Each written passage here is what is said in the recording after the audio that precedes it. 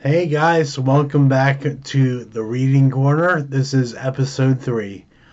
Unfortunately, I wasn't here for episode 2, so I had El Borracho del Sol take my place for one episode.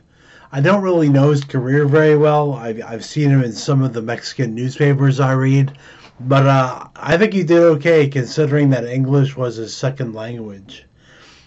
Well, anyways, I haven't really gotten a lot of reaction on YouTube in the comments, and I think that I realize what the problem is. I think I've been reading a little too fast for you guys. So today, when I read page 3, I'm going to take my time, slow down, and make sure I read it at a pace that you can all follow. So, Papa Balloon and Cactus, page 3. Let's just jump right in.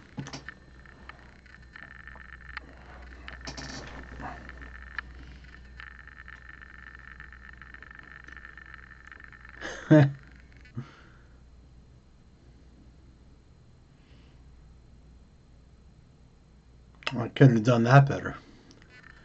Well, live and learn, right?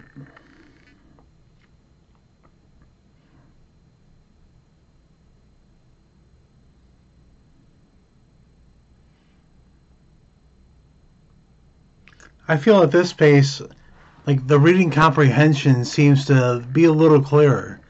And I think you'll agree, but let me just finish up here.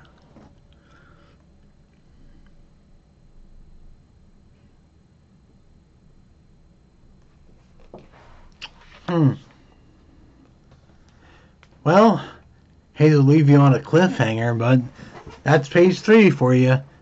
Next time, we're going to have the conclusion to that on page four.